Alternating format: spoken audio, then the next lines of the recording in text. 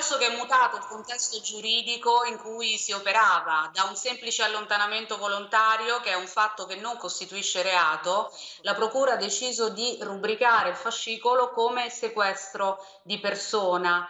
Questa rubricazione eh, è dovuta sicuramente all'intervento dei media e all'attenzione e ha consentito così agli inquirenti di avere nelle mani più strumenti investigativi perché è diverso indagare per un allontanamento volontario da invece un fatto che costituisce reato, per cui parlo degli strumenti tipo le intercettazioni, i tabulati, l'utilizzo di perizie, perché ricordiamocelo bene che soltanto per un fatto che costituisce reato lo Stato ha la possibilità di pagare con i soldi pubblici un perito che fisicamente poi possa effettuare una perizia sul telefono. Allora, finisco questo racconto, finisco questo racconto per gli amici che ci seguono a casa.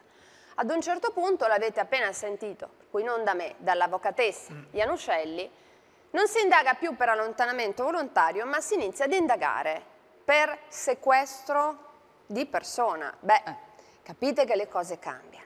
E finalmente, dopo quattro mesi, quattro lunghi mesi di disperazione per questa mamma in diretta che abbiamo, la signora Roberta, si inizia a cercare Alessandro. E per cui da una settimana, da una settimana in tv noi vediamo le ricerche avvenire.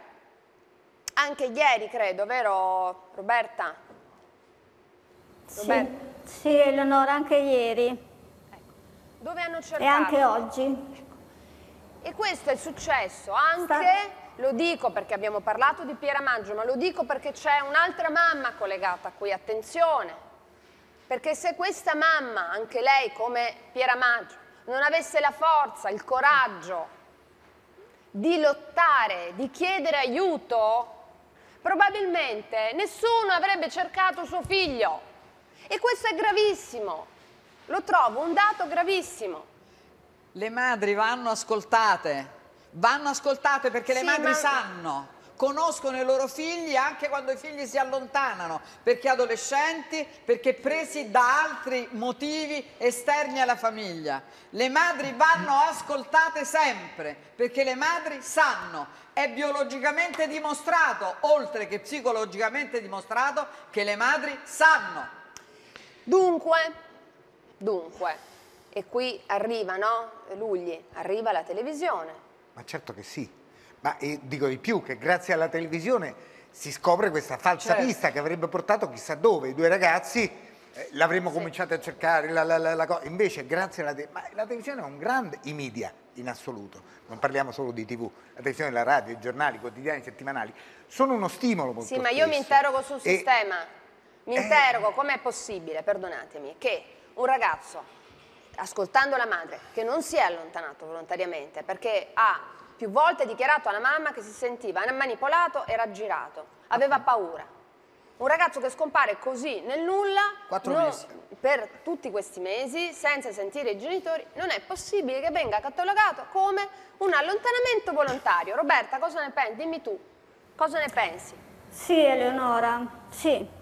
E noi, guarda, stiamo dicendo in televisione adesso perché grazie proprio ai media ne stiamo avendo la possibilità, stiamo dicendo in televisione tutto quello che per mesi abbiamo detto privatamente noi abbiamo fatto una prima denuncia di scomparsa il 5 di dicembre, ma il 7 abbiamo fatto una integrazione dove abbiamo dichiarato tutto quello che stiamo dicendo nell'ultimo mese a questa parte. Quindi che Alessandro si sentiva manipolato, che Alessandro aveva paura, che Alessandro dormiva con me. Ah. E abbiamo veramente passato tre mesi di silenzio. Poi non voglio dire non è stato fatto nulla, ma sicuramente quello che stanno facendo adesso andava fatto in dicembre, perché comunque ormai, Eleonora, ieri erano cinque mesi che Alessandro non è più in casa. Ah, sono cinque mesi allora. Alessandro non si è volatilizzato, Cioè, eh, qualcuno deve sapere qualcosa, qualcosa deve venire fuori, perché io veramente non ne posso più. Eleonora, ecco qui l'importanza assoluta allora, Donaldo dei lavora media. Con, per, lavora, opera per una comunità straordinaria che si occupa anche di vittime delle sette, di persone manipolate, di persone che vengono allontanate dal nucleo familiare, di persone che non si fanno più né sentire né vedere dalle proprie famiglie, dai propri genitori, dalle proprie madri, perché entrano come dire, in, un, in un loop di, di, una, di, un altro mondo, un mondo che dovrebbe eh, lasciarli andare, lasciarli liberi e in realtà li costringe psicologicamente, infatti si parla di psicosette, in, uh, come dire, in un, comunità, diciamo così. Sì. Poi Potremmo dire tante altre cose, Donaldo, ma è un discorso molto lungo. Intanto vole, volevo ribadire il plauso anche a questa trasmissione che ha seguito dall'inizio e i media, ecco, che fanno proprio lavoro. Eh, il lavoro più importante, dare voce a chi non ha voce e dare voce a chi magari la voce eh, insomma, è troppo, eh, non arriva, insomma, non incide, non eh, provoca quell'attenzione che invece deve provocare. E allora è giusto giusto che sia così ed ecco che la televisione fa un grande servizio, grandissimo, importante, accompagna il cittadino, accompagna queste famiglie ad arrivare alla verità. Poi, come è stato ben detto, noi l'abbiamo citato anche eh, qualche tempo fa abbiamo anche un numero verde dedicato perché chi magari non si vuole esporre può però chiamare a questo numero verde antisette perché chissà non faccia finta di non sapere, sì. non se ne lavi le mani perché c'è sì, chi sta soffrendo. ma se avessero indagato allora, prima, se avessero sicuramente, ma adesso prima, dobbiamo all'inizio in sì. maniera diversa, perdonatemi, perché ad esempio, però siamo sempre lì ai soliti discorsi. Però se, se c'è eh. qualcuno che ci sta ascoltando, si può recuperare. Recuperare significa muoversi immediatamente. Chissà lo faccia perché la vita di questo ragazzo può essere nelle mani di tante persone o di poche o anche di una sola che sa la verità e deve parlare perché, per salvare Posso. questo ragazzo. Certo. No, c'è, c'è, un, c'è un aspetto fondamentale in questa storia eh, che Donaldo conosce bene per le cose di cui si occupa, cioè le sette sono un elemento di esclusione dell'esterno. Sì. Questo è il punto di partenza, cioè di non comunicazione. Ciò che avviene dentro non soltanto automaticamente resta segreto, ma è oggetto di ricatto e spesso di impoverimento delle persone che vengono coinvolte in queste sette. Allora, qual è, perché la grande difficoltà di investigazione? E a volte di non comprensione, diciamolo, perché con tutta l'umanità del mondo e con tutto lo spirito cristiano di cui è armato Donaldo, poi c'è anche una cosa che si chiama incapacità a volte e quindi l'incapacità di penetrare in questi sistemi che trovano la bomba atomica nei confronti della televisione, perché la televisione disvela, la televisione obbliga a penetrare in sistemi chiusi che diventano in questo modo oggetto di attenzione e creano paura in personaggi di queste sette che possono poi disvelare qualcosa di oscuro.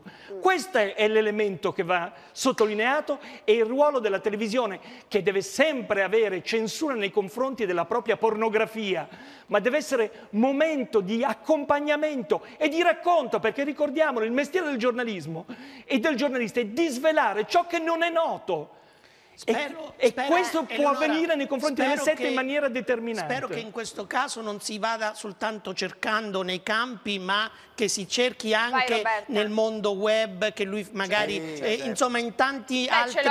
Speriamo eh, che a 360 gradi si, si facciano ricerche, auspico, Roberta, suppongo vuoi intervenire? Roberta? Eh, volevo intervenire, sì, Eleonora.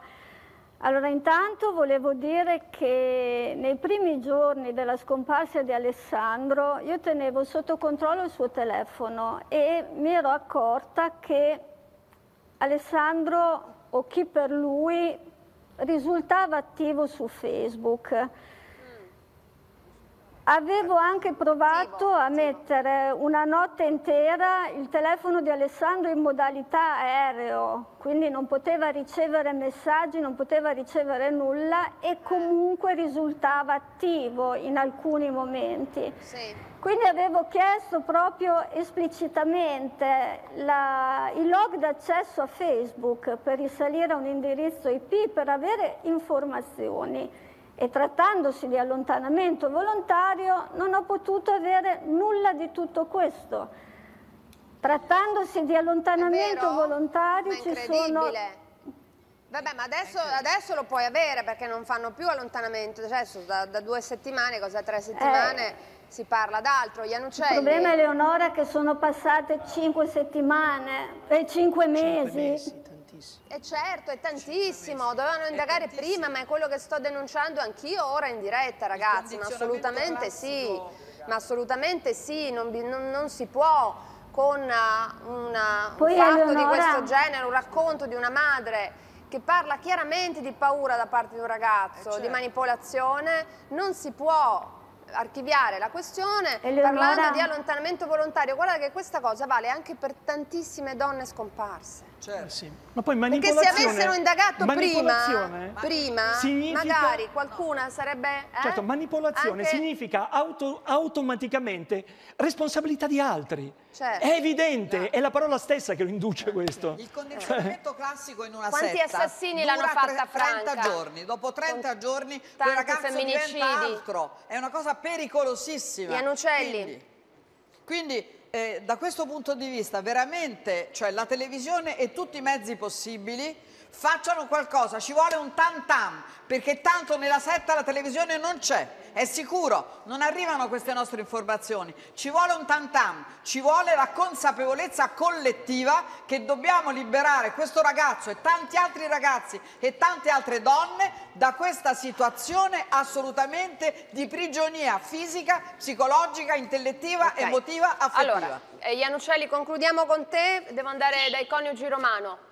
Volevo soltanto evidenziare questo. Alessandro ieri è stato cercato negli strapiombi del famoso poligono di Sassuolo. Vi dico soltanto che l'esito di queste ricerche hanno portato a individuare dei resti umani femminili, perché così ha detto il medico legale, probabilmente appartenenti alla signora Paola Landini, scomparsa nel 2012 da quel poligono, la cui auto era stata parcheggiata a 10 metri dal posto in cui sono stati ritrovati questi resti umani. Allora io mi chiedo, quando scompare una persona, ma che cosa si fa? Dove si cerca? Paola Landini, scomparsa nel 2012, è stata ritrovata a maggio del 2021 a 10 metri dal posto dove aveva parcheggiato la sua auto. Dico questo solo per chiudere e per proiettare purtroppo questa ombra su tutto ciò che succede, su questo buco nero in cui entrano le persone che vivono in famiglia una scomparsa.